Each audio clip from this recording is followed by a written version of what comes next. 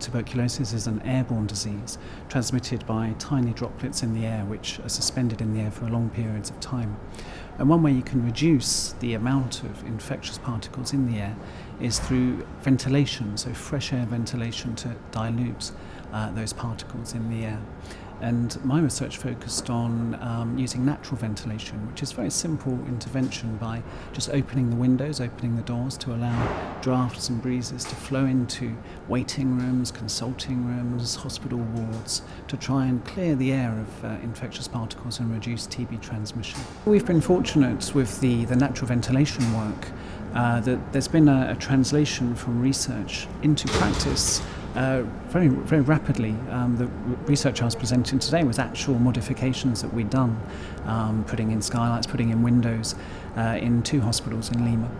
So that the benefit is already happening. Um, those those hospitals are already better ventilated and hopefully less dangerous compared with previously.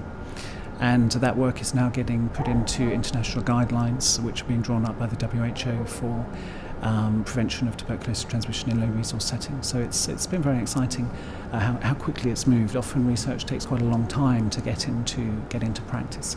Uh, we've been quite fortunate in this instance.